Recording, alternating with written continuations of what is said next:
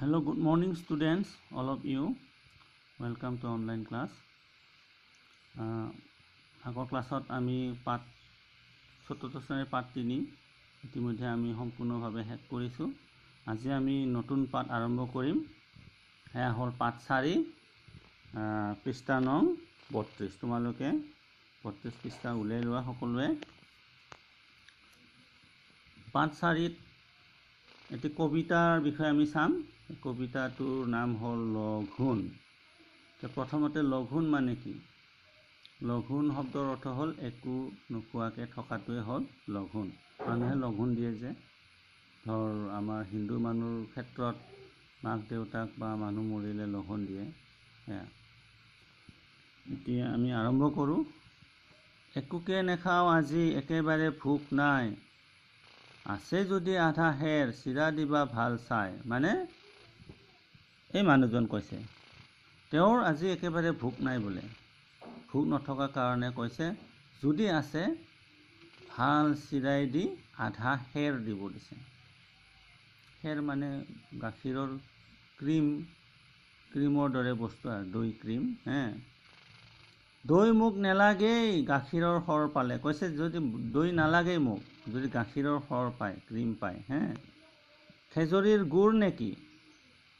কৈছে খেজুৰৰ পৰা বনোৱা গুড় মিঠাই নেকি? যদি হয় লৈ আহা এইফালে বুলি কৈছে। এইফালে লৈ আহা যদি হয়। নাই যদি মালভোগ জাহাজী কলকে আন যদি নাই মালভোগ কল যদি মালভোগ কলো নাই তেতিয়া জাহাজী কলকে আন বুলি কৈছে। আৰু একো নেলাগে এয়ে হ'ব জলপান।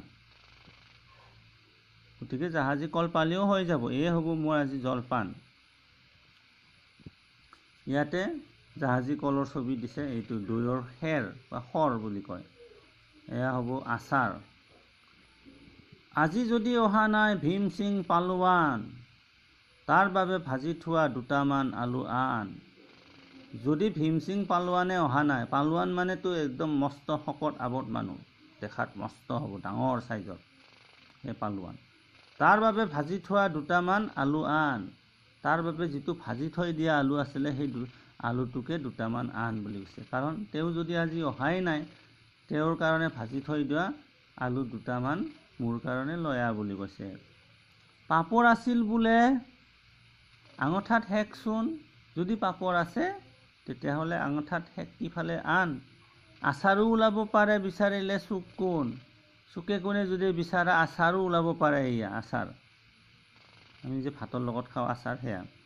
ৰৌ মাছ ভজা আছে? তাৰো দুচকল দে যদি ৰৌ মাছ ভজা আছে তাৰো দুই চকলমান লৈ আহা বুলি কৈছে। এয়ে হ'ব লঘোণত আৰু একো নেলাগে। গতিকে লঘোণ আজি যিহেতু লঘোণ মোৰ একো নালাগে এইখিনি পালে এয়ে হৈ যাব আজি মোৰ বুলি কৈছে। এই কবিতাটো লিখিছিলে কবি নৱকান্ত বৰুৱা। ঠিক আছে নিশ্চয় তোমালোকে বুজি পাইছা। এই কবিতাটোক তোমালোকে এক দুই তিনি চাৰি পাঁচ ছয় সাত আঠ এই আঠ শাৰী মুখস্থ কৰিবা সম্পূৰ্ণভাৱে ভালকৈ আৰু লগতে গোটেইখিনিকো পঢ়িবা সৰসৰীয়াকৈ পঢ়িব পৰা হ'ব লাগিব আৰু লগতে আমি আবৃত্তি আকাৰে পঢ়িব লাগিব। আহাচোন আমি পাঠভিত্তিক ক্ৰিয়া চাওঁ ক নম্বৰত দিছে মানে পাঠভিত্তিক ক্ৰিয়া মানে ক্ৰিয়াকলাপ। পদ্ধতি শুদ্ধ আৰু স্পষ্টকৈ আবৃত্তি কৰা বুলি কৈছে। উত্তৰ দিয়া। পদ্ধতি শুদ্ধকৈ আৰু স্পষ্টকৈ আবৃত্তি কৰিব দিছে। তোমালোকে ঘৰত প্ৰেক্টিছ কৰিবা। উত্তৰ দিয়া এক নম্বৰ লঘোণ পদ্যটো ৰচনা কৰা কবিজনৰ নাম কি? লঘোণ পদ্যটো ৰচনা কৰা কবিগৰাকীৰ নাম হ'ল কবি নৱকান্ত বৰুৱা নৱকান্ত বৰুৱা। লঘোণ পদ্যটো ৰচনা কৰা কবিজনৰ নাম নৱকান্ত বৰুৱা। তোমালোকে বহি লিখি ৰাখিবা। খ নম্বৰ লঘোণ শব্দৰ অৰ্থ কি? লঘোণ মানে তোমালোকে নিশ্চয় জানা। যে লঘোণ মানে হ'ল একোকে নোখোৱাকৈ থকা এয়ে লঘোণ শব্দৰ অৰ্থ। পালোৱান বুলিলে কেনেকুৱা মানুহ এজনৰ ছবি তোমাৰ মনলৈ আহে? পালোৱান বুলিলে মস্ত শকত আৱত আমি ঘৰুৱা ভাষাত তাগৰা বুলি কওঁ। শকত আৱত মানুহৰ কথা আমাৰ মনলৈ আহে। তাৰপিছত লঘোণ পদ্ধতিৰ ভিত্তিত ক অংশৰ কথাখিনিৰ লগত খ অংশৰ কথাখিনি মিলাই লিখা। এয়া মই মিলাই দিছোঁ ইতিমধ্যে ক অংশ আৰু খ অংশ হা আছে যদি আধা হেৰ চিৰা দিবা ভাল চাই দৈ মোক নেলাগেই গাখীৰৰ সৰ পাৰে নাই যদি মালভোগ জাহাজী কলকে আন পাপৰ আছিল বোলে আঙঠাত শেকচোন ৰৌ মাছ ভজা আছে তাৰো দুচকল দে। গতিকে দীঘলীয়া নকৰোঁ আজিলৈ ইমানে। পিছৰ ক্লাছত আমি বাকীখিনি শিকিম। Thank U. 拜拜。